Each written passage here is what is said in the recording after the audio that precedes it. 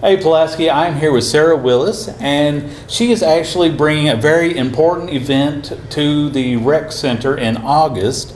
Uh, so, Sarah, I know it was about babies, and I'm told that they are important to, for the future. So, why don't you tell us a little bit about what is happening? We are celebrating World Breastfeeding Week uh, here in Pulaski at the Recreation Center uh, on August 1st from 10 a.m. to 2 p.m.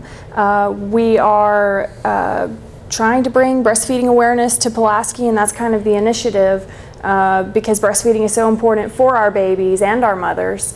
Um, and so uh, that's, that's what we're doing. Okay. Now let's pretend for a second I'm a guy who doesn't know too much about kids because I'm a guy who doesn't know too much about kids. What are some of the reasons why breastfeeding is so important? All right, well, that's a good question.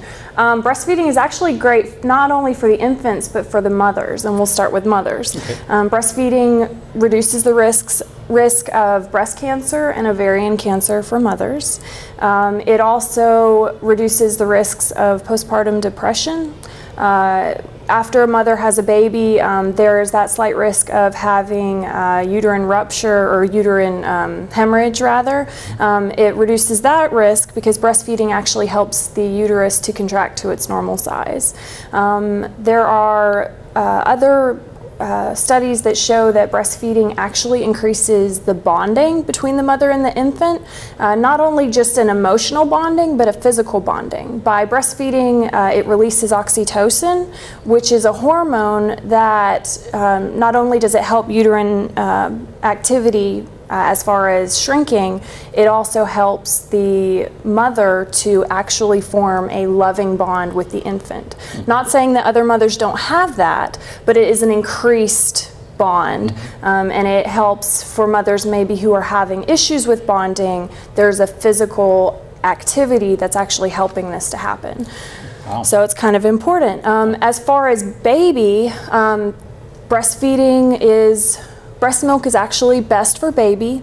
Uh, it helps calm the intestinal activity. Um, it's actually um, it helps with uh, something called gut flora, which is the bacteria in the gut that helps the baby to digest food later on in life.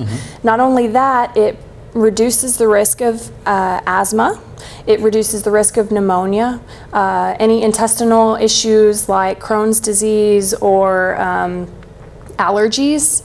Uh, and it also just makes a happier baby. Um, the bonding between the baby and the mother during breastfeeding is comforting for the child. And so uh, it's a great way to, when you've got a fussy child, it's just a great way to calm baby down.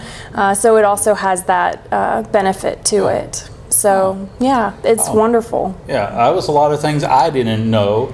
I, so Absolutely. you're going to have a lot of information available. It's going to be speakers. There's going to be booths set up. Yes, so- and we do have um, opportunities for moms who don't breastfeed as well. So this is not to exclude mothers who formula feed. We have uh, speakers coming out to talk about other important topics. Um, such as car seat safety. We have a, a child passenger safety technician coming to speak about that. Uh, we've got dietitians from Tennessee Health Department to talk about, um, or the Giles County Health Department, sorry, to talk about um, nutrition for mom and for baby. Uh, we have some speakers talking about something called baby wearing. Uh, so you have a fussy baby who uh, possibly doesn't like to be put down very often. A really great way to get things done around the house is to wear your baby. So we'll have someone to come and talk about um, the different ways that you can wear your baby safely. Yeah. And so it makes a happy mom and a happy baby.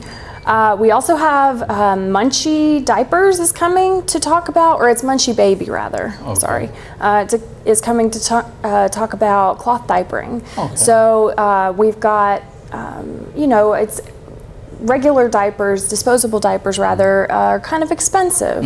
Um, so we have some options for moms who maybe don't want to spend as much money. So we've got someone coming to talk about um, this other option, which is cloth diapering, which helps you to save money, um, as well as um, other things. So uh, let's see what else. We have door prizes, amazing door prizes, door prizes that I would love to win myself if I was allowed to. Um, we have a ring sling that's being donated by Sakura Bloom. Uh, it retails almost $200. It's a silk ring sling and it's absolutely beautiful. Um, we also have teething necklaces like the one I'm wearing. Uh, this is a silicone teething necklace, um, and we have. Uh, let's see what else. We have some um, giveaways from the Tennessee Giles Department Health, De- Giles County Health Department.